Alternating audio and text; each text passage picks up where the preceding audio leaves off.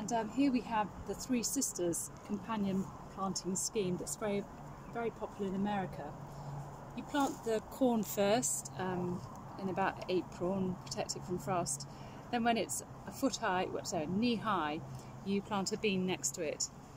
The bean fixes nitrogen, which helps the corn, and then the corn provides support uh, for the bean. That one's started to climb. My, my poor old corn was very uh, damaged by the, the, that sharp hail shower we had that caused the flash flooding in Nailsworth, but it seems to be recovering.